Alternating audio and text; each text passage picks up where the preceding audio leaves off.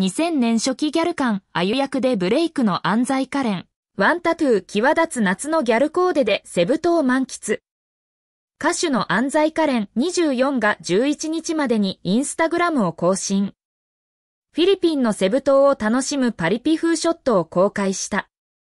この日、安西はセブ島他の地方にを夏した。と綴り、セブ島を訪れた。際の写真を投稿。写真の安西は金髪ロングヘアに夏らしいミニ丈ワンピース姿で、現地の海や飲食店、バーのようなスポットを楽しんでいたよう。手首や腕に入っているポップなデザインのタトゥーも確認できる。安西さんといえば、2020年放送の歌手浜崎あゆみさんの半生を描いたドラマ、M 愛すべき人がいて、テレビ朝日系であゆ役に抜擢され、女優デビューしたことがきっかけでブレイク。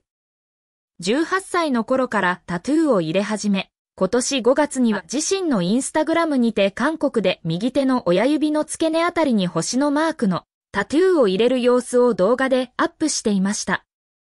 インスタグラムでもタトゥーが確認できるショットを定期的に公開しており、彼女のギャルな雰囲気やコーデにマッチしています。女性誌ライター。安静のパリピ感ある夏ショットに、ファンカは夏が似合うよな、かわちい。夏。ギャル。安西カレン。最強。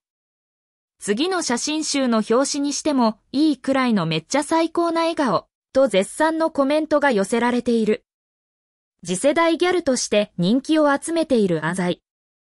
今回の投稿には2000年初期ギャル感出て可愛すぎ、金髪可愛すぎます、との声も上がっていたが、ファッションやタトゥーはもちろん弾けるような笑顔が魅力的だ。